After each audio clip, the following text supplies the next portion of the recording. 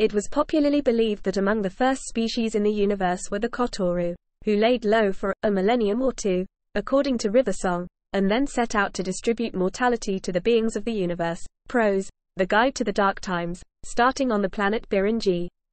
Prose, The dawn of the Kotturuh. However, the Kotturuh themselves believed they actually predated this universe and had been spreading what they saw as the gift of mortality in the prior universes. They expected they would do so again in subsequent universes. Prose. The dawn of the Kotturuh.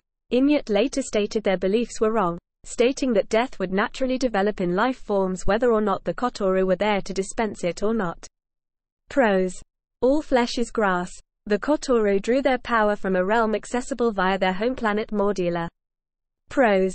The night, the fall and the dead. Their emergence began what was known as the Kotturuh crisis. Prose. The Guide to the Dark Times. As the Kotturuh spread, various races responded in different ways. The Eternals fled, losing the ability to live their own lives in the process. The Osiran Sutekh bargained with them and gained the gift of death for himself. The demons tried to fight back, resulting in them eventually being driven to extinction. Prose.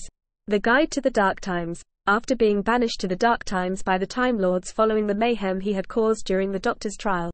TV, The Ultimate Foe, Audio, Lesser Evils. The Tremas Master witnessed a Kotturuh woman at work on the planet Alexis and attempted to influence her decision. Audio. Lesser Evils.